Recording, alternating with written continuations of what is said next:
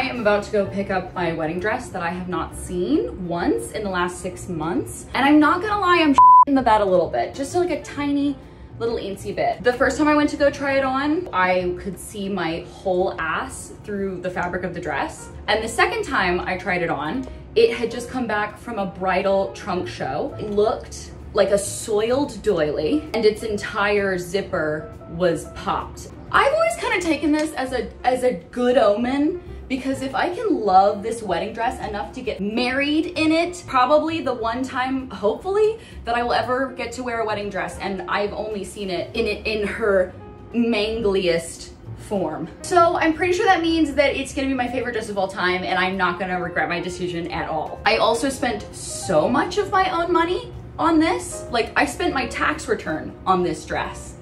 So it better be good, I better like it. So anyways, I'm in a good place basically and I'm definitely not stressed. I'm gonna go so simple on my makeup today because I want this to be an unaltered opinion of this dress. Did I tell you that I'm also gonna get jewelry designed, custom jewelry designed with this amazing jeweler who is gonna make me like a custom little jewelry set. But I'm so excited because she is a fantastic designer and such an artist in her craft. Also, when in the world are you ever gonna commission custom jewelry if not during your wedding? That's at least how I feel. This is my favorite thing of all time. This Charlotte Tilbury little, uh, whatchamacallit, Hollywood filter thing. This stuff is magic. It's magique. I think it's gonna be a good day. I'm not, I, I've also decided that today, after I'm done with wedding dress pickup, as silly as it sounds, this is gonna sound insane, because you would think that a wedding dress pickup would be um, the reward of the day, but I'm obviously nervous about it. So I decided to plan myself a little treat afterwards, just for like getting through the sort of hubbub of it. Um, I'm gonna go pick up oil pastels because I've been super inspired by a bunch of pictures I've seen on Pinterest to pick up to pick up oil pastels again. I used to love doing it when I was younger I already watercolor flowers, but I hadn't really thought about going into the oil pastel realms. So we're gonna do that together, you and me. Um, we'll go to my favorite art shop, which is called Blue Rooster. That complexion hits every single time. I only do my powder now in the most haphazard, ridiculous fashion. Okay, eyeliner, mascara, maybe some eyebrows, curl the lashes, and you're done, bitch. Okay, this is the fit I'm rocking.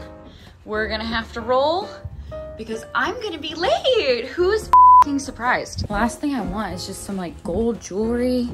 I have a single earring, that's helpful. Fine, no jewelry. Let's go. And yea, verily, I went to sink and tried on some stuff and felt very good about it.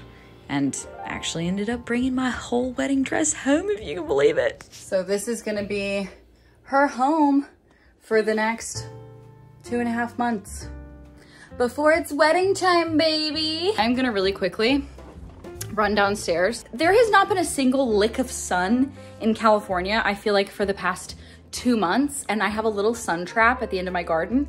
So I'm gonna go sit down there and just lay in the sun for a little bit because I feel that I deserve it.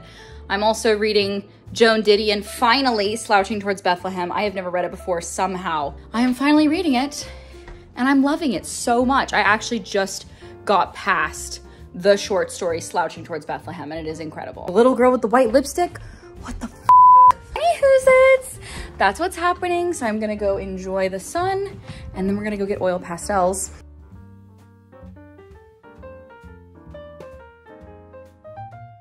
I know I'm probably preaching to the choir here, but if you haven't read Joan Didion, do yourself a favor. It's the next day.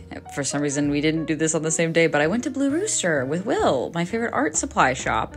And look at how cute this little box is that they gave me for all my oil pastels. Uh, I'm so excited. Let's get to art. Okay, here's an oh so brief art haul. A snow cone that is currently in my stomach. Love that. And then this little box that has oil pastels in it.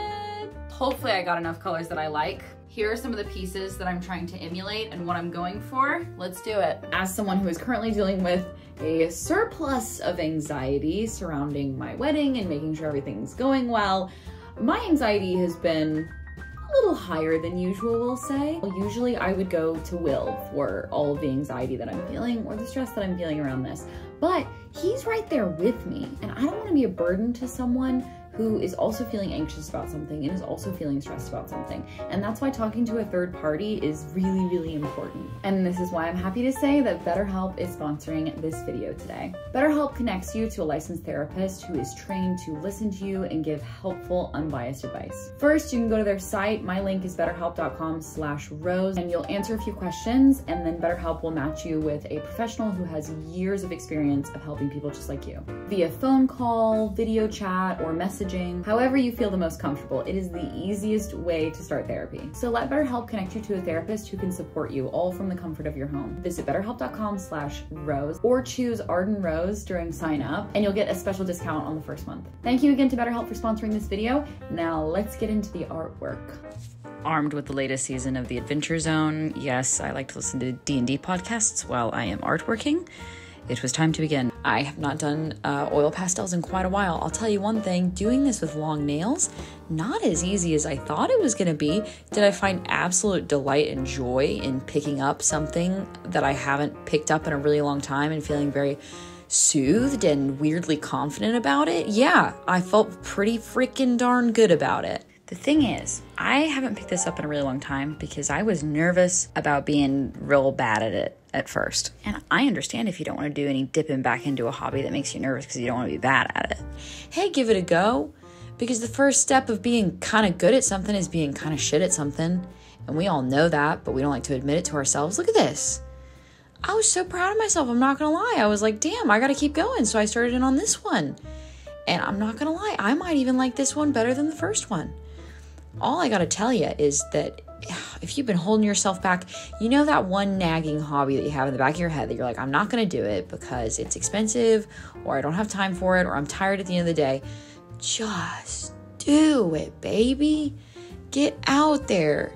You know, how high can the barrier of entry be for you to not do something you love? Truly, truly. And now I've done this and I'm like, I want to do this a billion times more. I'm about to buy so many more oil pastels and get back into a hobby that I haven't done in such a long time. I also made a little one for you guys because I was like, oh, what if I made like another version of these and like gave it away? Because I felt really good about these ones that I made. I ended up making a third one, which I'll show in a second. I didn't actually film the process of it, but um, yeah, these are the two ones that I finished. And I feel so good about them. And now I want to make more. Was gonna show you the two other pieces that I made because they're kind of cute. I kind of thought I might give one of them away, but the one that I would give away, I don't think is good enough. So I'm gonna try to make another one and maybe in my next video we'll do a giveaway. So let me know if that's even interesting to you. If you would like a piece of my art, comment down below and let me know because I think that would actually be kind of cute. I think I just need to rework the type of paper I'm using. Anyways, let me show you the two pieces. Okay, so this one is just a little dinner scene right? And she's actually like really cute. I really like her. We've got a little blue table, some glasses of wine, some olives, a little chair. I love these green stripies. Um, so yeah, it's just a little scene.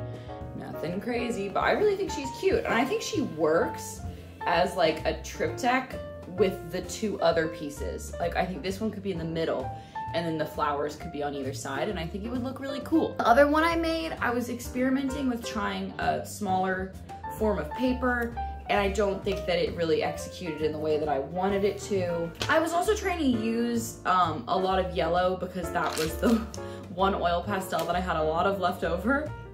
But I think she's cute. Like she's just a little kind of version of, oh, she's just a little kind of version of the big one you know? And I think she's fine. Like if you put her in a really quirky frame, I think she could look cute. But I just, I think it looks a little amateurish. But I don't know if it's just because it's a smaller size, like the scale is smaller. So the oil pastel is kind of reading like this.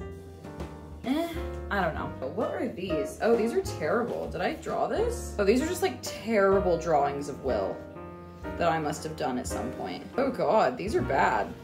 These are really, really bad. Okay, it is the next day, folks, and I'm in a car. I am going to go pick up my latest little collab with Lisa Says Gah, which I'm so excited about. It's a tank top version of my rat tee. Let's go pick it up together. And so that's what I did. I walked up to Lisa Says Gah, but right before that, I did this in front of the bushes like a Facebook mom. Um, I found my tee in the store, which was so cool. And then look, big reveal. Look at this gorgeous fairy rat. I made it home in my cutie patootie little tank top. And oh, what did I do while I was at Lisa Says Gah? I purchased a cute pair of shoes. Freaking sue me. Wee woo wee woo, put me in cuffs, baby. If, if buying up these little shoes because they were a steal is a crime, lock me up. But um, let's style them together because I have an idea. I think a sock would look really, really cute with this.